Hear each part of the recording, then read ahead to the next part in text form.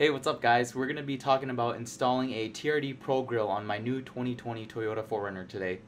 Alright guys, so if you know, the 2020 4Runner actually does not have any replica grills that are made for it right now. There's only one um, company that makes replica grills for the 2020 right now, and they're asking about $700 for it. So that's pretty. Uh, that's a pretty hefty price. You could also go with the OEM route, which is about $500. You'd have to buy this top valance as well as this um, garnish piece right here and that's still pretty expen expensive.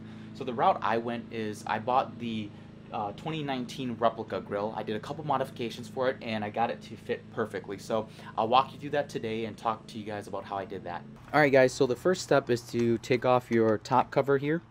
Um, I've already done that, so I've thrown that down here. Then what, you, what you're going to want to do is uh, unclip these tabs. So you have one here, one here, then you have these two, these two down here, gonna lighten this up for you guys so you guys can see it.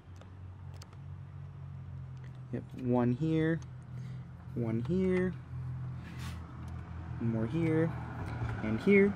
So once you've um, taken those tabs off, this top valance should come right off. So you're gonna want it, you're gonna reuse this piece. So be very careful. The first time I took it off, it did take some elbow grease. Um, keep in mind there are some tabs here that are connected to your um, OEM uh, uh, top grill as well too. So you're gonna either uh, you can either press this in or you could just uh, yank this out and it should pop right off, right? So guys, once you've taken your top valance piece off, it's gonna come with the top grill here. Um, how to separate it is you're gonna want to undo the screws. There's gonna be one here, one here, two here, and the same thing on this other side. So you're just gonna grab a screwdriver, unscrew those, and it, it, there's actually like a seal like a rubber uh, seal here um, which makes it kind of hard for you to take it off so you're gonna have to if you have a pry tool that's what I used um, I grabbed a pry tool and I just pried it off um, and it comes right up right apart Alright guys, so this is where the difference comes in when you're trying to install your uh, 2019 replica grill into your 2020 4Runner. Um, in OEM, uh, when once you take this out, it is held in by these little screws, these small little screws here, right? I'm to try to get this to focus for you guys. So it's held in by these little tiny screws and when you and if you try to use these screws to reattach your new upper grill to the OEM one, it's not to work, right? You're to find that the length just does not work. So what you want what you need is you're to need a one and one quarter screw and a one and one half screw, right? So these, the, the one and one quarter, go into these two pieces right here, dead center, right? So you're, there's going to be one here and one here, and then the one and one half is gonna hold in the corners right over here. One here and one here. And that's it. So that's the modification that you're gonna need. Um, all the other screws, these ones in the corner here, can be reused, all right? So these ones, you can still reuse these smaller ones. That's perfectly fine. The, the only ones you'll need to change are these two in the far top corners and then these two right here in the dead center of the grill, right?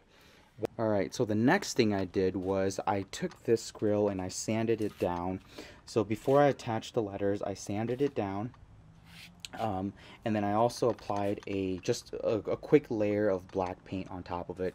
Um, there are a lot of reports that these replica grills, the, the paint doesn't hold up as well. So I went ahead and added a uh, black uh, black paint on top of it. Gave it just a really nice um, sand down and then did two layers of this and it looks great.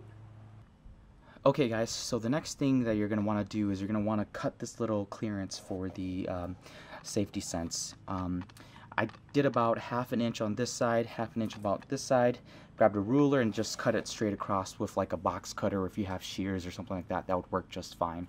Um, so I did a test fit. This will technically fit right over your sensor. However, um, because of the spacing of it, um, it's gonna allow your your uh, it's not gonna allow your grill to sit flush. So it's gonna bump right next to the sensor here, and then it's gonna create a little bit of a space, and you won't be able to mount your uh, your grill as flush um, to the car as, as what it's intended to do.